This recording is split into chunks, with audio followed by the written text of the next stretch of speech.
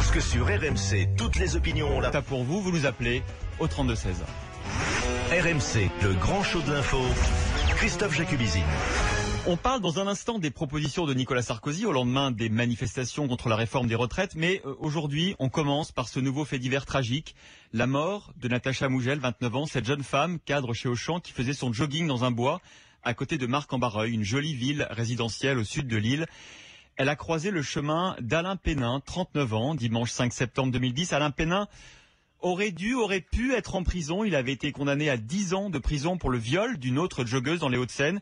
Mais après avoir purgé 5 ans de prison, il a obtenu une libération conditionnelle le 30 septembre 2009 sur la foi de deux expertises psychiatriques.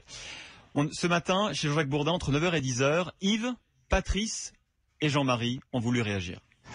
Il devrait y avoir un seul choix chez eux, ou la prison à vie, dans le cas de délinquance sexuelle évidemment, ou alors la castration physique. Je dis bien physique parce que chimique, s'ils ne prennent pas leurs leur euh, produits, au bout d'un moment, euh, ben, c'est bon. Hein. Nous avons une fois de plus, et c'est pas la première, loin de là, à un récidiviste qui n'a pas purgé la totalité de sa peine. Or, je connais les textes, la libération conditionnelle est possible, Mm. elle n'est jamais obligatoire, quels que soient les avis, les rapports et la conduite du détenu. Mm.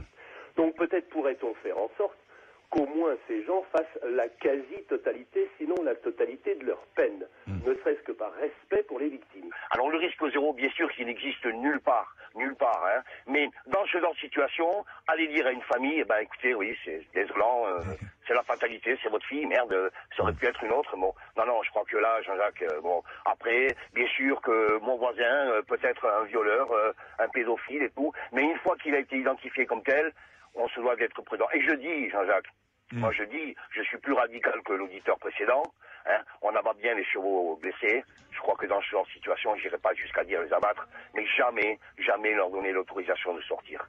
C'est vrai que depuis sa libération, Alain Pénin était socialement inséré. Il travaillait comme chauffeur de camion pour les Restos du Cœur et il bénéficiait d'un suivi socio-judiciaire. Euh, on écoute Emmanuel Rigière, l'avocat de la famille de la joqueuse, qui était en direct à 6h40, à 6h40 avec Jean-Jacques Bourdin. Il explique pourquoi le meurtrier présumé a fait seulement 5 années de détention alors qu'il avait été condamné à 10 ans de prison. Il a fait effectivement 5 euh, années de détention par rapport à ce premier procès, ce qui est euh, dans le système législatif actuel tout à fait normal et cohérent. Maintenant, je comprends effectivement à l'époque la décision du juge d'application des peines parce que elle s'expliquait juridiquement, factuellement, en fonction de la loi. Maintenant, a posteriori, euh, cet homme euh, nous donne beaucoup de regrets, bien sûr. Il effectivement était sous l'empire de ce qui existe le, le, plus adapté, en tous les cas, à ces profils-là dans notre dispositif actuel. Il ne pouvait pas y avoir de meilleure protection que celle-là. Et le problème, c'est que dans énormément de dossiers, tout cela fonctionne et lui vient nous prendre à, à contre-pied complètement dans cet horrible dossier parce que mon cabinet n'a jamais connu un dossier aussi, aussi sordide factuellement que celui-là. Donc cet homme est, une exception euh, qui, qui, vient remettre en cause une règle qui souvent marche bien. Le suivi socio-judiciaire est, est, quelque chose qui, dans la plupart des cas, est vraiment effectivement une, une béquille pour que eh bien, la, la, personne rebondisse. Là, manifestement, il a détruit euh, euh, plusieurs personnes dans sa vie et, et, c'était mmh. effectivement euh, très très lourd à, vivre pour la famille. Et pourtant, et pourtant, il y avait quelqu'un qui était sûr que Alain Pénin allait recommencer. C'est Caroline, sa première victime. Elle a été violée par lui en 2004.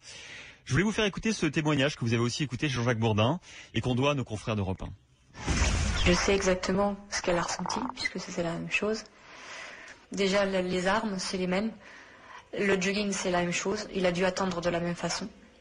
Et je ne sais pas après s'il l'a bousculé ou pas dans un ravin. Mais en tout cas, et avec tournevis, c'est le couteau comme pour moi, quoi. Et je sais aussi à quel moment, euh, à quel moment elle savait qu'elle allait mourir, en fait. Puisque moi, je le savais. Pour elle, je, le sais aussi. Je sais pas comment j'ai fait, en fait. Je me rappelle même pas. Je sais pas, je sais que j'avais juste, euh, j'avais pas un cil qui battait, j'avais pas le cœur qui battait, j'ai tout contrôlé, tout jusqu'à ma voix, jusqu'à tout, en fait. Et je lui ai fait croire que ben, on allait devenir amis parce que moi non plus j'avais pas de famille, pas d'amis, machin tout ça, et que finalement ben, il était sympa et que du coup on a discuté de tout et de rien. Il m'a dit donne-moi ton numéro, je lui ai donné, bah oui, si tu veux on se revoit et tout, il n'y a pas de problème. Mais si tu refais pas des trucs comme ça, c'est pas à faire que je lui ai fait, puis j'ai rigolé, enfin, comme si c'était un pote, quoi. On savait qu'elle allait recommencer. Moi je le savais, tout le monde le savait en fait.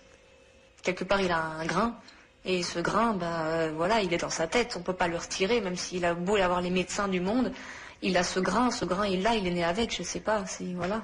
C'est comme on est brun, on est blond, on est roux, bah lui il est, a un grain. Et ce grain, bah il l'aura à vie, je veux dire, c'est pas parce qu'il va sortir de prison qu'il l'aura plus. Puis il recommencera s'il doit ressortir, de toute façon, voilà.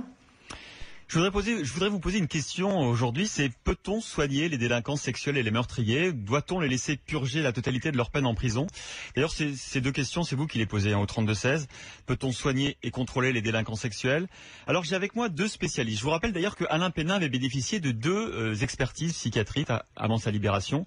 J'ai avec moi un psychiatre et un psychologue. Euh, Roland Coutenceau, bonjour. Bonjour. Vous êtes psychiatre, expert auprès des tribunaux, spécialiste des, des victimes et des hommes violents. Est-ce que euh, on peut détecter le profil euh, psychologique et psychiatrique euh, d'un délinquant à coup sûr? Est-ce que vous avez une science exacte et comment vous appréhendez ce, type d'affaires? Regardez, essayons de comprendre un petit peu ce qui s'est passé, qui est toujours évidemment atroce un petit peu quand c'est un fait divers de ce type. Bon, première, première donnée, il y a plus de 90% heureusement de délinquants sexuels qui, qui ne récidivent pas. Et donc vous voyez le défi de toutes les démocraties. C'est au fond d'essayer de me cibler ceux qui sont un risque. Puisque euh, quand on fait un premier acte qui est une agression sexuelle, dans toutes les démocraties du monde, c'est des peines à temps, quelle que soit la durée de la peine. Évidemment, on peut, on peut ré- laisser la personne un peu plus en prison, mais au fond, dans tous les pays du monde, les gens sortent. Donc, au fond, le vrai problème, c'est est-ce qu'on peut mieux progresser dans l'accompagnement de sujets qui seraient, eux, plus particulièrement inquiétants C'est quoi votre c'est quoi votre réponse? Vous pensez qu'on peut progresser ou est-ce qu'il faut accepter qu'il n'y a pas de risque zéro? Moi, je pense qu'on peut progresser et en même temps, euh, je suis un scientifique et je suis obligé de dire qu'il n'y a pas de risque zéro. Mais je voudrais vous expliquer quelque chose que vous soulignez. Pourquoi parfois, effectivement, l'expertise psychiatrique et psychologique peut être relativement euh, ouverte, bonne, et alors que, effectivement, le sujet est quand même dangereux. Regardez, c'est comme dans la vie, réfléchissons. Même si on est un spécialiste, la personnalité, on en voit 90%. Il y a toujours une face cachée un petit peu chez les gens que le psychiatre, le psychologue peut ne pas voir. Ça, c'est le premier élément. Et puis, il y a un deuxième élément, c'est que... Mais, ça, ça sert à quoi alors les expertises si vous ah, si vous attendez, dites que attendez. Ouais. Oui, mais voilà, je, vais vous expliquer pourquoi. C'est quand il y a une expertise psychiatrique et psychologique classique qui sont centrées sur la personnalité. Or, vous l'avez entendu, vous-même, vous avez euh, participé à ce débat. On voit de temps en temps que les expertises doivent être de plus en plus criminologiques. Qu'est-ce que ça veut dire? Ça veut dire qu'au fond, il y a la personnalité de l'homme. Et puis, par exemple, moi, je viens de terminer un ouvrage sur le sujet. Il y a des éléments statistiques qui sont à risque. L'étude des récidivistes nous montre que, par exemple, agresser une victime inconnue, la plupart des agresseurs sexuels agressent quelqu'un qu'ils connaissent, donc agresser une victime inconnue, c'est un facteur de risque. Ça veut dire qu'on a plus de chances de récidiver quand on agresse quelqu'un qu'on ne connaît pas un tiers, c'est ça? Exactement. Agresser avec une arme, c'est un facteur de risque. Séquestrer, c'est un facteur de risque. Donc, il y a des signes comme ça qui sont des feux rouges clignotants qui doivent s'intégrer un petit peu dans l'évaluation psychocriminologique et, et que parfois, certains psychiatres ou psychologues, pas assez férus, un peu Et- et là- et là- et là, ça s'est- n'intègrent pas dans leur discours. Pourquoi ça n'a pas fonctionné dans ce cas-là? Ça veut dire qu'il n'a pas, il a pas bénéficié justement d'une analyse, d'une expertise, euh, ce que vous lisiez, criminologique. On va justement prendre Roland Coutenceau, après je reviendrai vers vous. Jean-Pierre Bouchard qui est aussi avec nous. Euh, Jean-Pierre Bouchard, bonjour. Oui, bonjour. Vous êtes psychologue, justement criminologue aussi, hein, spécialiste des agresseurs et des victimes. Vous, vous êtes quand même plus pessimiste hein, sur l'évaluation en France des troubles psychologiques. Ben, Vous dites que... Il y a des dysfonctionnements que l'on connaît très bien, et que les- euh, dont on est un certain nombre à les dénoncer. Euh, c'est tout le problème de l'évaluation euh, de la dangerosité. Est-ce que c'est les, est-ce que c'est les Euh, psys qui font mal leur travail. Euh, et si vous voulez, ce, ce problème, on sait très bien que les expertises psychiatriques comme psychologiques sont très souvent euh, peu fiables, voire extrêmement défaillantes. Là, on a une preuve supplémentaire, mais hélas, c'est pas la seule. On sait qu'il y a des critères à prendre en compte, effectivement, et, qu'il faudrait faire une- engager une réforme rapide euh, de façon à augmenter l'efficacité et la fiabilité de ces expertises, et notamment psychiatriques, puisque ce sont les plus, les plus souvent demandées. Euh, et pour ça, on sait quels sont les points de réforme qu'il faudrait mettre en place. Euh, mais simplement, il faut vraiment réformer ça parce qu'actuellement, le- les expertises de psy euh, sont très souvent euh, polluantes des décisions judiciaires, on en voit une preuve manifeste, et quelquefois sont tout à fait invalides dans les pronostics de dangerosité ou même de guérison, entre guillemets, de ce type d'agresseurs dont, on- dont on sait très bien que le, le comportement qu'ils peuvent avoir en milieu carcéral, même s'il est bon, n'est absolument pas un pronostic de non-dangerosité pour plus tard. Et alors je voudrais parler avec tous les deux de l'efficacité des traitements euh, médicaux hein, sur les délinquants sexuels. Juste avant qu'on on ouvre ce débat, euh, RMC avait mené l'enquête euh, fin juin 2010. C'était une enquête de notre reporter Yannick Collant après un rapport de l'Académie de médecine. On va écouter le professeur Edwin Milgrom, qui est endocrinologue, qui était au- auteur du rapport hein, de l'Académie de médecine. Est-ce que les traitements médicaux arrivent à empêcher les délinquants sexuels de récidiver Les méthodes médicales ne peuvent pas être la solution. Ils peuvent apporter un plus, mais il va y avoir des sujets sous traitement qui vont récidiver. On le sait très bien, toutes les analyses qui portent sur des dizaines de milliers de sujets le montrent. Les traitements, qui soient hormonaux ou psychiatriques ou en combinaison des deux, permettent d'abaisser en gros de 25% le taux de récidive. Les trois quarts ne seront pas touchés par les traitements hormonaux. C'est un problème euh, de criminalité malgré tout et les moyens médicaux ne sont pas la panacée dans ce domaine. Roland Coutenceau, ça, vous avez entendu, ça veut dire que vous êtes impuissant finalement, vous, à soigner les délinquants sexuels dans la grande majorité des cas. C'est ce que, c'est ce que nous dit le professeur Edwin Milgrom. Alors, euh, je le formulerai d'une autre façon. Quels sont les outils que la société a à sa disposition pour tenter de diminuer encore cette récidive Alors, il y a le suivi psychiatrique, psychologique, euh, qui d'ailleurs doit commencer dans le milieu carcéral quand on est inquiet, bien évidemment.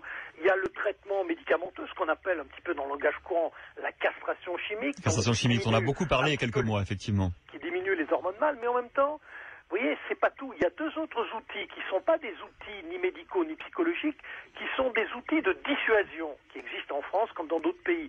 C'est par exemple surveiller des gens particulièrement inquiétants, c'est un petit peu Avec des bracelets électroniques, par exemple. Et, exactement. Et Mhm. le quatrième élément, c'est le bracelet électronique qui, à mon avis, m'intéresse beaucoup en tant que criminologue parce que, au fond, le bracelet électronique, finalement, c'est une force de dissuasion.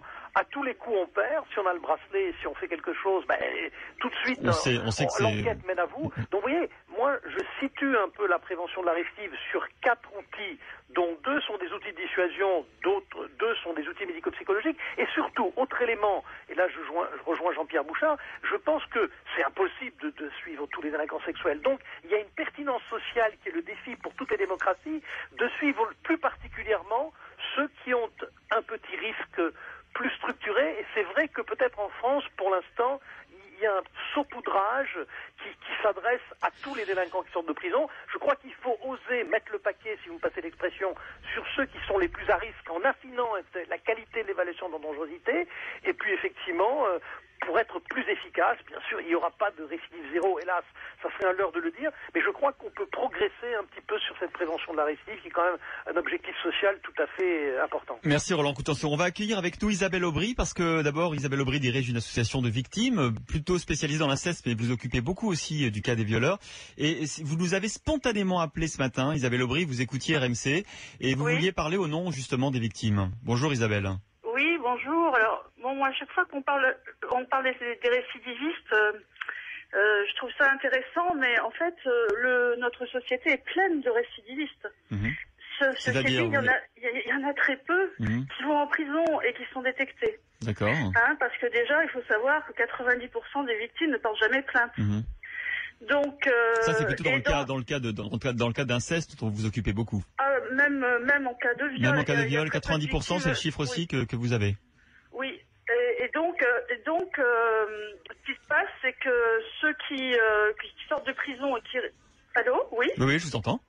Ceux qui sortent de, de prison et, et qui se font prendre, c'est vraiment euh, la, le- la partie émergée de qu'est-ce qu'il faut faire Isabelle? Vous, vous vous proposez quoi? Qu'est-ce que vous demandez euh, pour que pour que les victimes soient mieux protégées? Ça fait plusieurs années, nous, qu'on a interpellé euh, le gouvernement, déjà dès, l'affaire euh, Évrard. hein. Vous vous rappelez, avec ce, ce petit garçon là qui, qui avait été violé euh, mhm. par euh, un récidiviste. Euh, Monsieur Sarkozy euh, a réuni euh, quelques personnes pendant deux heures et a, sorti une prison de sa manche Ouais. euh, pour Lyon.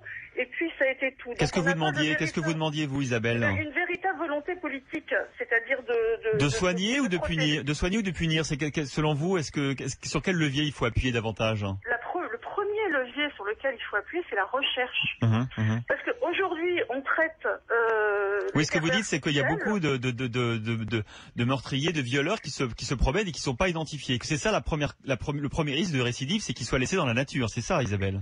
Première chose, l'année dernière, on a fait venir euh, des, chercheurs du Canada à notre congrès annuel sur, euh, pour nous faire un focus sur une recherche qu'ils avaient fait sur les, les pères incestueux.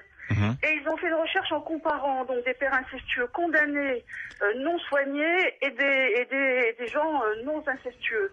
Et ils sont arrivés, ils ont abouti à leur, à leur recherche en leur faisant passer des tests, etc parce qu'il n'y ait aucune différence entre les deux. Ils étaient indétectables à l'œil nu. Mmh. Très bien. Isabelle Aubry, vous avez merci beaucoup d'abord de nous avoir appelé. Vous avez parlé de volonté politique. Merci aussi à, Jean-Pierre Bouchard et, Roland Coutenceau, que, que, je remercie.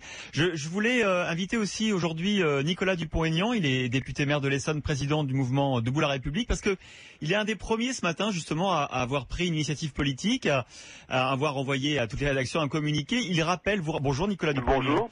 Vous rappelez que vous êtes euh, auteur d'un amendement qui a été rejeté à la fois par l'UMP et par le Parti Socialiste pour restreindre, là on est plutôt dans le répressif, euh, les remises de peine. Hein. C'est quoi la, règle aujourd'hui des remises de peine euh, pour les délinquants qui sont condamnés par exemple à 10 ans de prison? Écoutez, d'abord moi je pense aux victimes et à leurs familles, mais on est dans une situation surréaliste en France, puisqu'aujourd'hui, avec les remises de peine, les libérations conditionnelles, mhm. en fait, quand vous êtes condamné à 10 ans, vous n'en faites que la moitié. C'était le cas hein, donc de, d'Alain Pénin, hein, qui, est parti au bout de, qui est sorti au bout de 5 ans de prison. On est le seul pays au monde démocratique où il n'y a plus de dissuasion de la peine. Pourquoi c'est quoi la règle? La règle en Allemagne, la règle. par exemple. Non mais en France, par exemple, concrètement, pourquoi on sort au bout de 5 ans? Vous avez une remise de peine automatique, mhm. automatique de 2 mois par an. D'accord. d'incarcération, et 3 mois la première année, disons 2 mois par an. Vous avez une remise de situation familiale, bonne conduite en prison de 3 mois. C'est-à-dire, par année de condamnation, vous avez quasiment 5 mois qui sautent. Pour les délinquants sexuels comme pour les autres, il n'y a pas, y a pas de différence. ferme en prison. 5 mois, c'est considérable. Alors vous proposez quoi Vous proposez quoi Vous avez fait un amendement Oui, dites-moi. En plus, vous avez la libération conditionnelle. Mhm, mhm. Ce qui veut dire que vous êtes condamné à 12 ans, vous en ferez 6. C'est mhm. ça le problème de fond. Qu'est-ce que vous proposez, Nicolas Dupont-Aignan Je propose tout simplement de supprimer la remise de peine automatique. J'ai eu une discussion surréaliste que vous pouvez retrouver sur Internet un soir dans l'hémicycle avec Madame Alioumari. Et Madame Alioumari, ministre, garde des Sceaux, a expliqué à la représentation nationale qu'il ne fallait pas supprimer la remise de peine automatique parce qu'on n'allait plus tenir les détenus en prison. Et je lui ai demandé comment on faisait en Allemagne, en Angleterre. Euh, et l'UMP a été chercher le PS à la rescousse. Ça veut dire que derrière les grands discours sur la sécurité, il n'y a pas la volonté de rétablir la chaîne pénale. Et la vérité aussi, c'est que comme on n'a pas les places de prison nécessaires, on a 60 000 places de prison en France, 80 000 en Angleterre. C'est la raison en fait. votre amendement a été rejeté parce qu'on n'a pas les moyens de garder les gens en prison. Financière. Et on ne peut pas avoir une chaîne pénale. Mais ça coûterait combien quand même, Nicolas Dupont-Aignan? Parce que on comprend, on comprend votre votre argument simplement. Et ça coûterait combien aux contribuables? Très peu. La France. Bah, c'est cher quand même de mettre des gens en prison. La France dépense deux fois moins par habitant pour sa justice que l'Angleterre. Ce sont des montants extrêmement réduits par rapport à toutes les autres dépenses publiques. Tant qu'on ne rétablira pas un fonctionnement du ministère de la Justice, tant qu'on n'aura pas d'un côté la prévention, on l'a, mais pas la répression, vous aurez des délinquants, moi je vois dans des cités des types qui vous disent on peut tuer quelqu'un, on fera quoi? 4-5 ans? Qu'est-ce que c'est? Donc vous vous dites que Natacha est morte pour des questions d'argent en fait, dimanche. Il y a d'un côté une vision idéologique de la gauche qui considère que la prison c'est pas bien. Mais moi je connais pas d'autre solution. Et puis il y a de l'autre côté l'UMP et la droite qui aujourd'hui bloquent pour des raisons financières. Je ne dis pas que la prison est la seule solution. Je dis simplement qu'il ne doit plus y avoir de remise de peine automatique dans notre pays. Et je vais redéposer une proposition de loi, je ne lâcherai pas là-dessus. Nicolas Dupont-Aignan, je vous remercie pour conclure ce, sujet. On va, on va se retourner vers euh, Joe. Joe, bonjour. Bonjour Christophe. Vous avez 31 ans, vous nous appelez d'où? D'accord, vous nous appelez de Nantes. Et alors, qu'est-ce que vous pensez de cette proposition euh, de Nicolas Dupont-Aignan de, de, sur le, fait de ne pas accorder de remise de peine euh, euh, en général ou pour certains types de délits? Qu'est-ce que vous en pensez, vous? Bah, Déjà, moi, je suis, effaré parce que c'est vrai que je connaissais pas les chiffres de, de, de, prorata de Oui, les deux mois par année, oui, tout à fait, c'est intéressant. Oui, C'est hallucinant. Moi, je suis contre les remises de peine à partir du moment où la personne est incarcérée pour un délit à la personne, c'est-à-dire que ce soit mhm. un viol, que ce soit un meurtre, que ce soit autre chose. Où il y a atteinte à la personne, je suis contre la remise de peine. Après, si c'est euh, un cambriolage ou, ou des accidents, bon, Mhm. euh, à la limite peut-être, mais quand il y a atteinte à la personne, euh, il y, a, il y a forcément la personne qui a été tuée ou violée, mais il y a toute la famille qui est derrière, qui est là aussi, qui subit, qui est, qui est atteinte à ça, et de voir la personne libérée cinq ans avant ou, ou trois ans avant, c'est quelque part